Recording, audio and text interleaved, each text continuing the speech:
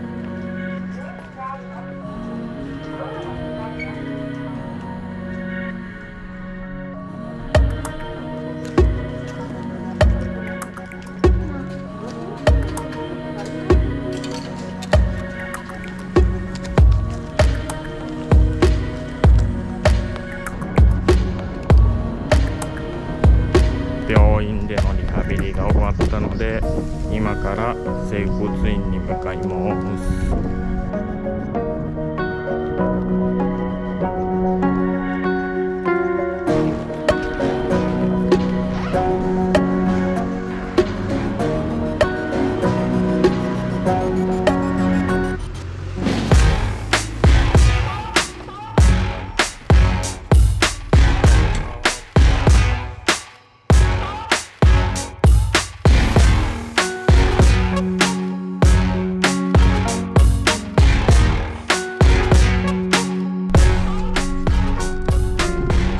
整骨院でのリハビリマッサージも終わり、えー今が11時50分なのでとりあえず今から